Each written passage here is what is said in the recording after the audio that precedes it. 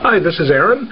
Uh, today just wanted to show you the Windows 7 uh, unboxing and see what's in there. Some people wondered if it came with a 64-bit uh, or not. This was the $49 edition, or $50, uh, that you got in on about four months or five months ago. Uh, it's the upgrade, but with the upgrade you can install directly to your Windows PC, um, and it allows you to install as long as you have a disk from another operating system. So although that's what the past versions did. I understand you can do that with here. I don't know the actual 100% requirements.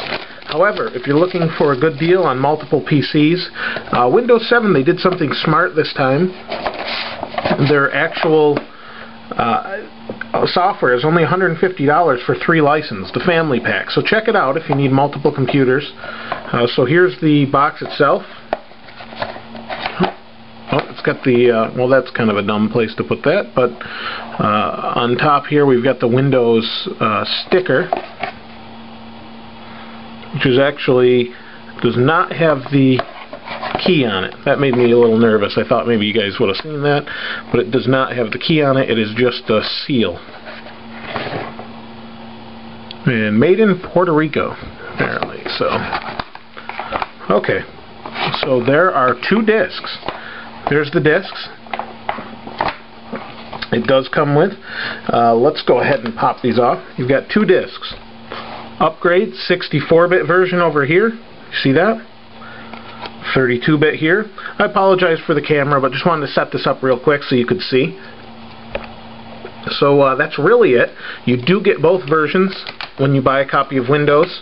Uh, you've got the upgrading and welcome to your simplified PC and then behind that you have the key and the license um, so that's really it I'm gonna get to installing this and upgrading uh, but you know it's Windows 7 release day I've been running release candidate on one of my PCs for a long time since it came out ran the beta before that uh, ran really well. Uh, I have to say, at this point, it's a matter of preference. If you like Mac, you go with Mac. If you like Windows, you go with Windows.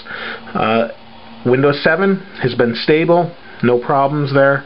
Uh, at least in my experience, it's been by far the best Windows PC or Windows operating system rather uh, up to this point. So uh, be sure to check it out. At least try it out. I know a lot of people that have XP are hesitant. Uh, however, I've used uh, this for such a long time that unless you have something that's XP or XP specific and you know will not work with uh, 7 for whatever reason, although it should, uh, I don't see a reason not to upgrade at this point. So um, it's more secure, it's definitely pretty snappy, uh, doesn't seem to crash at all, and I'm notorious for crashing PCs, so I don't really have an issue at this point. But uh, check it out, Windows 7 Home Premium. Uh, like I said, I picked it up for 50 bucks. I don't think they have that deal anymore. Uh, but just to tell you also, if you're a student and you want Windows 7, it's only $29. Just do a search. Uh, you have to have an EDU email address. They'll send you uh, the uh, link to the website to sign in with your EDU address and uh, or via email, and uh, you're good to go. You get it for 29 bucks, legit from Microsoft. So check that out uh, if you have an EDU address and you're a student. other than that, I'm off to install this. this is Aaron. We'll see you next time.